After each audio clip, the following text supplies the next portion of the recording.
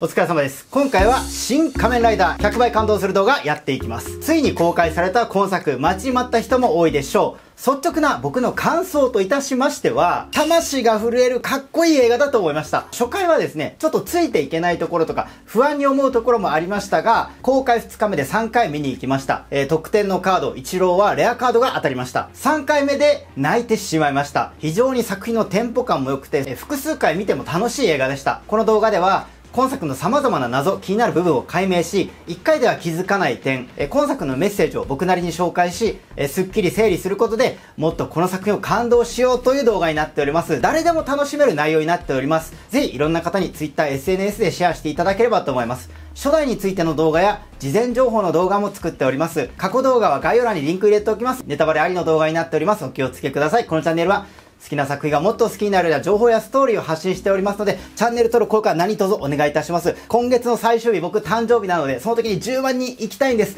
見てる人の中で登録してない人が92%もいますので、ぜひ今月だけでも登録、高評価お願いいたします。あとはコメントのやり取りがモチベーションにつながります。コツコツ返信してますので、ぜひコメントしていってください。それでは早速参りましょう。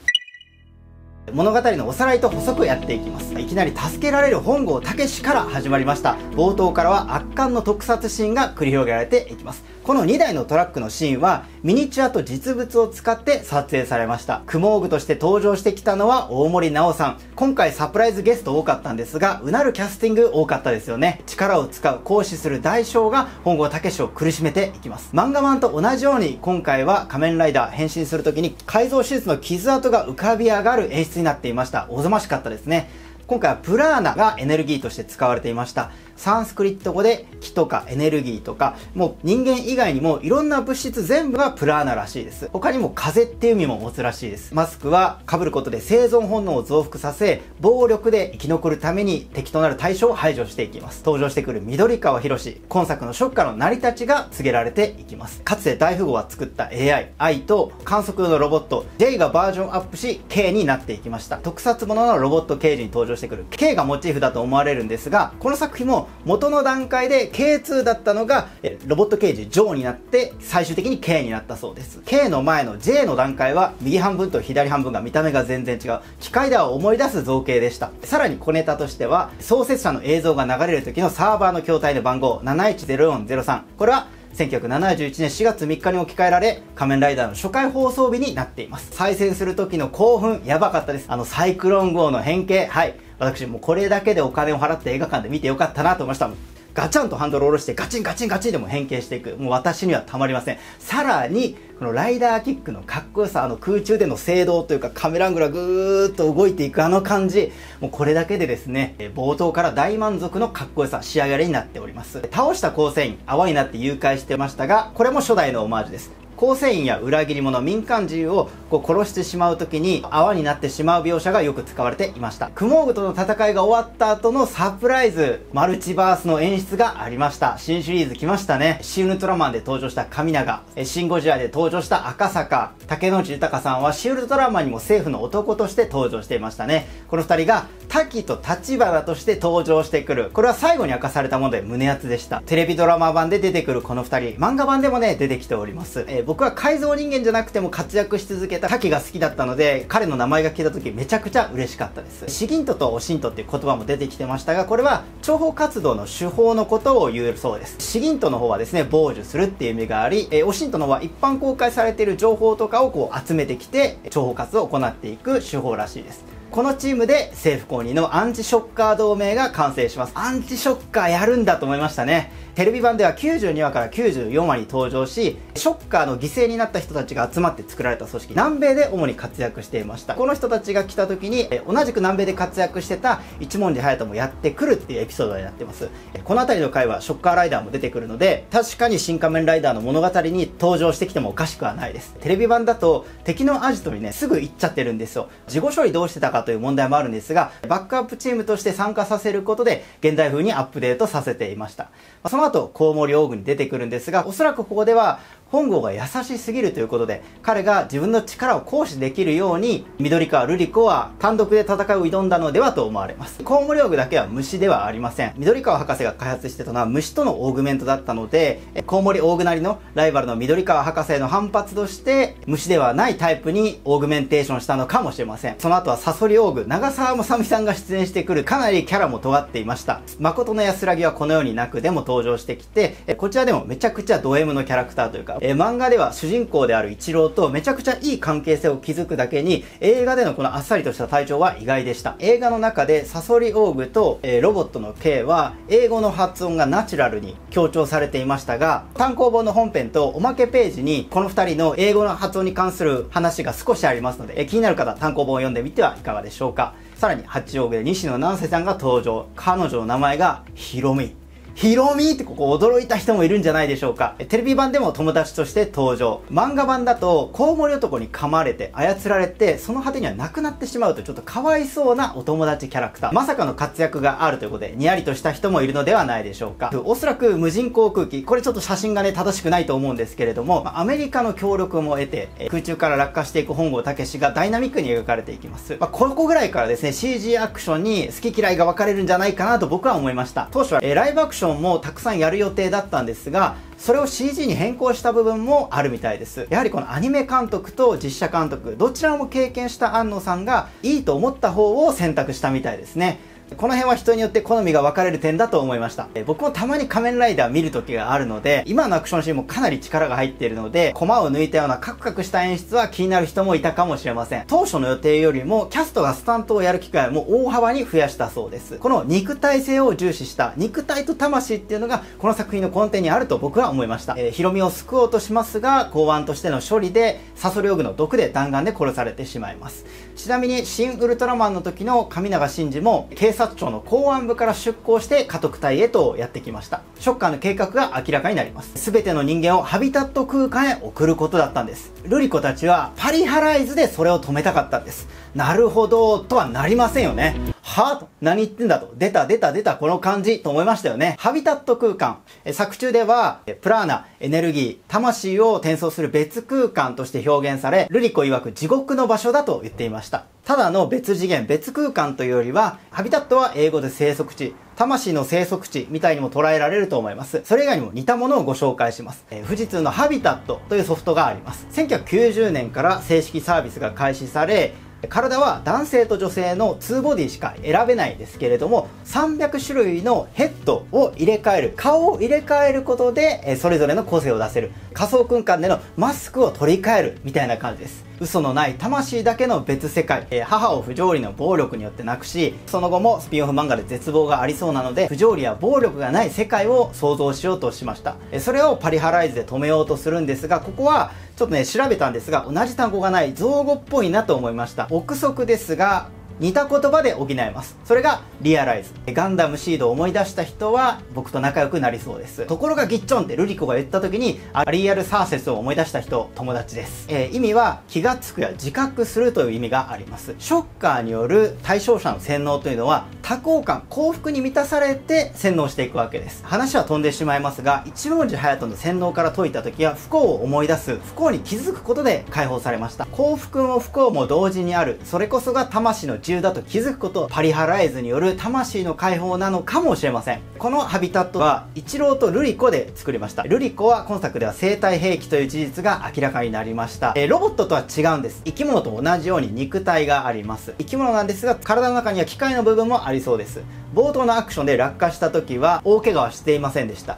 連れ去らわれる時もこういう T の字になって固まっていましたね。この2人で作ったハビタット空間。お互いのデータがなければハビタット世界もパリハライズプログラムも完成しません。写真を見る限りこの2人だけで幸福を作ろうというこのエピソードゼロ的な何かがきっとあったんでしょうね。一郎はプラーナの量が多すぎる。ルリコのベルトにあるコンバーターではパリハライズできません。からのここで出てくる一文字隼人の描き方。これがめちゃくちゃ好きでした。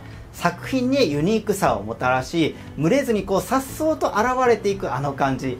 登場時間はおそらく短かったんですがめちゃくちゃクールで生かす人物に描かれています。さらに孤独を愛する人物でした。パワーが強い表現も2号らしくありましたね。片手でバイクを止めるシーン圧巻でした。このダブルライダーによる激突バッタ同士の戦いらしく空中で飛びながらやるという今作ほどの大きな企画でなければできないような映像表現がありました。さらにここで意表をつかれたのがカマキリカメロン KK 本郷奏太さんが出てくるということで3種の合成怪人で登場してきました。死神グループの怪人でした。雲も実はここだったということで緑川とは別チームで存在している。漫画でイワンという通称死神と呼ばれるキャラクターが出てくるので緑川とは別チームで雲が作られた後合成怪人が作られたようです。さらにここで畳みかけるように起きてしまうのが緑川瑠璃子が刺されて死んでしまう。ここの浜辺美波さんの命が失われようとしていくあの子表情というか演技素晴らしかったですね。この後瑠璃子がやろうとしていた用意周到な計画早口で分からなかった人もいると思うのでご紹介していきます。まずはヘルメットの自動消滅を解除します。構成員が死んだ時誘拐しますがそれは衣服も誘拐するようなシステムでした、えー、ヘルメットに個別のプラーナ要は自分のプラーナとか気が定着できるようにプログラムを設定した上で自らの遺言を残していきます。本郷に託して亡くなっていきました。スウェット姿で安堵した表情のルリコが印象的でしたね、えー、プラーナの単語から今作には仏教における幸福の要素もあると思いました、えー、仏教における幸福は慈悲や善意も必要ですがそれと同時にですね特徴的なのが苦しみや悲しみにもフォーカスが当たっています。辛いことはどこからやってくるのか。それは自分の心の中にあるんですね。辛いことや悲しみも自分の中でそう考えなければ絶望にならない。何が起きても絶望に達しないこと。この平穏や安心っていうのが仏教における幸福らしいんですね。北切りスズメのコートを脱ぎなさいよと言っていたあのわがままを言えるルリコのシーン。あそここそルリコにとって初めての安心平穏が訪れた幸福な瞬間だったのではないでしょうか。仏教においてはそこから他者の幸福も追求することが必要なんですが一郎は他者とのこの境界線をなくすことで一つの幸福独りよがりな幸福を追い求めていきました。ルリコを失ったことで本郷武力を行使したとしても守れない絶望が襲いかかかってきます。ですがルリコの最後の言葉が本郷武を支えます。マフラー似合ってよかった。マフラーは正義のヒーローの証明。ルリコから正義のヒーローとして安心信頼してもらえたことが彼の支えになっていきます。さらに海辺のシーンで本郷には本郷の乗り越え方をすればいい。ドライだったのにめちゃくちゃ励まされる。しかもこれを言ってくるのがテレビ版でも本郷武を支えた立花さんっていうのがまたいいじゃないですか。一郎との再戦に行くんですがショッカーライダーとの戦いが描かれていきます。原作と同じライダーと同じ姿姿で登場してきました。新仮面ライダーでは大量発生型総変異バッタオーブ。孤独層ではなく群生層だと一郎が言っていました。ここも現実でちゃんとあるんです。総変異っていうのはバッタなどによく見られる変化なんですが個体の密度によって形態行動が変化する。自分のエリア内にどれだけ同じ個体がいるかで形や行動が変化していくんですね。人間でいうと都会と田舎で形態が変わるみたいな感じです。群生層は個体がいる密度が多いんです。そこでのバッタは集団行動をしたりたくさんバッタがいるので違う餌を求めて大きく移動したりしていきます。逆に孤独層というのは周りに同じバッタが少ないのでそこに定住しようとしていくんですね。孤独層のバッタは緑や褐色の色をしていて群生層は黒っぽくなるそうなんですね。へーって感じですよね。さらにここでの戦闘シーンっていうのがなんと薄暗い戦闘シーン。何が起きているのかちょっと分かりづらかったと思うんですがこれはですね概要欄にも貼っておきます。安野監督が制作発表した時のインタビューでも言っていた当時とても仮面ライダーイダーの中で印象に残っている映像。当時のテレビ。しかも庵野監督はマンションの上の方に住んでいたらしく電波の受信状態が良くなかったらしいんですね。そんな中で真っ黒の中で仮面ライダーがうごめいている。何やってるのか分かんない。それでもかっこいいっていうのが庵野少年にとって大きな衝撃的な出会いだったんです。それを再現した上でアニメ的なアクションで描かれていきます。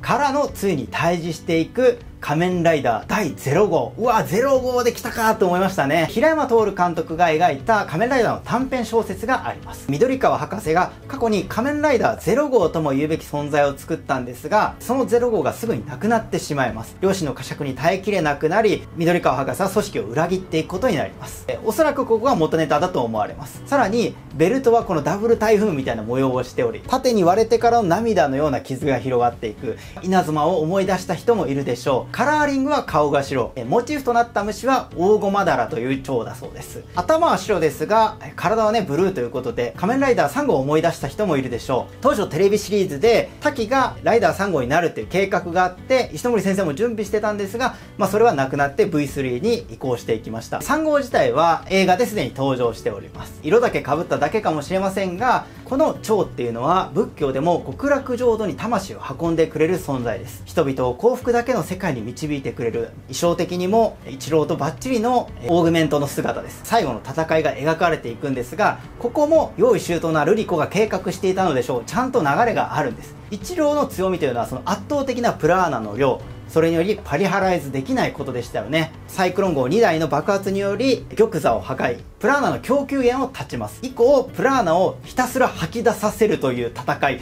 ものすごい耐久戦です。何度もやられて何度も立ち上げる。最後まで諦めないこのヒーローの姿。イチローがしつこいと言った後から、プラーナの残量が少なくなったんでしょう。イチローの動きが悪くなり、泥仕合になっていきます。ですが、本郷武史のベルトが破壊され、プラーナがどんどんと失われていきます。ここで僕は一番震えた言葉、僕は他人がわからない。だから分かるように変わりたい世界を変えるのではなく自分を変えようとしていく。一郎のプラーナが尽きてから仮面をかぶせる。マスクに仕込んでいたパリハライズが作動します。冒頭でマスクは被るのが怖いもの。生存本能暴力により敵を排除するものでした。ですが最後は生存本能が他者からの優しさによって救済する救うものへと変化していく。この仮面の意味が変わっていくんです。一郎も一緒に入れる空間をマスクの中に用意していました。ですが一郎は気づくんですね。この空間に3人を狭い。おそらく後からのセリフで繋がってくるんですが2人までしかいられないんでしょう。用意周到なルリコ。一郎を救済しえもし本郷武が亡くなってもそれを救済し自分は消滅してもいいと思っていたのではないでしょうか。それに気づいた一郎は自らの消滅を選ぶ。ここでもう誰も失いたくない。本郷武はベルトを破壊されもう間もなくなくなってしまう。ルリコには消えてほしくない。ルリコが信じた人物を信じる。自分が消えることを選択していきます。一郎は漫画版では正義を貫こうとしていきました。その純白すぎる思い幸福に取りつかれていたのかもしれません。ルリコの魂は別の場所に保管されていきました。本郷の魂プラーナは、え一文字のマスクに入り共に戦うことになっていく。マスクには01プラス02と新サイクロン号が隼人に託されていきます。もともとは群れるのが嫌いでした。それを好きになろうとしていく。孤独を味わえるバイクでしたが最終的に一文字隼人は今回の戦いを経てえ本郷武緑川瑠璃子の生き方を見て今は2人でいることが清々しい孤独から一文字隼人の救済が描かれていきます。本郷武も父親ができなかったこと。それは実力を行使するいわゆるこの暴力を行使して相手を守る救済するというこの相反する2つのことが父親はできませんでしたが本郷武は最終的に力を使い一郎を救い継承していく。本郷武の救済にもなって最後のセリフは俺たち2人でショッカーと戦う。仮面ライダーはマスクで素顔を隠し戦っていく孤独な存在です。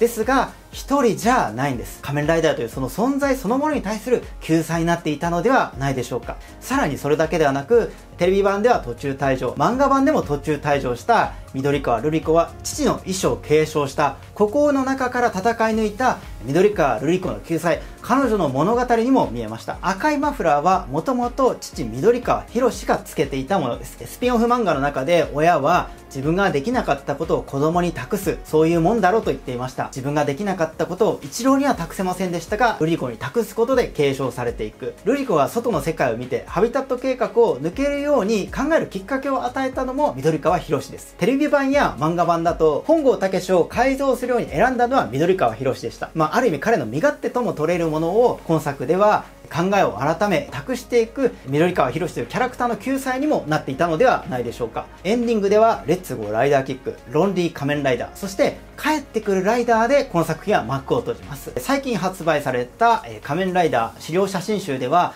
庵野監督が対談のインタビューで続編ができるように作ってあるとおっしゃっていました。漫画版でも本郷武は最終的に復活します。映画の最後で出てくるコブラ男の話。テレビ版では9話に登場してきます。この9話以降から藤岡弘さんが怪我して登場できなくなってしまいます。本郷武自体は9話で出てくるんですけど、え声は納屋六郎さんが当てています。まさにこの作品は本郷武から一文字隼人へ継承していく。まだまだ途中の物語、えだけでなく映画で登場してきた外世界観測系。声は松坂桃李さんがやっていました。まだ彼の観測は続いているわけなんです。ショッカーの計画は最大多数の幸福よりも絶望した人をどう救済するか、絶望した人をサンプリング、観測対象していて記録しているわけなんです。